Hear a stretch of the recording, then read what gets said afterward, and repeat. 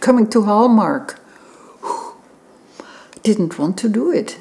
So many, so many artists. Why should I be there? I was, I think, 49 then, and I only worked by myself. There was nobody else around me. Nobody said what I should do. I was always alone with nature.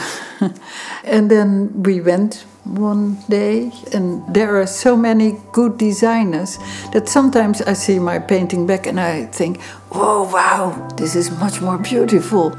It's so wonderful to give that freedom to other people, and it made me think more than I ever did what a painting can do, what you can give with your work to other people. It was a total new world for me, and I'm very grateful for many, many reasons that Hallmark invited me to come.